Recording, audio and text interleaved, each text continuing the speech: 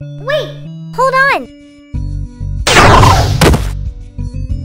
Listen, kid, I don't have time for games. The island is under attack and there are critters who need my help. So I'm gonna make this short and ask this once. What do you want?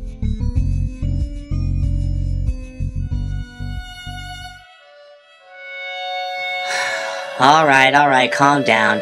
Take it easy, buddy, I'm not gonna hurt you. How about we start with your name? Miles Prower, but everyone around here calls me Tails.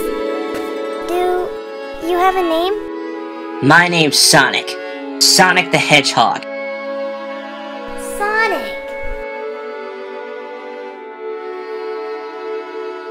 Well, we better get going.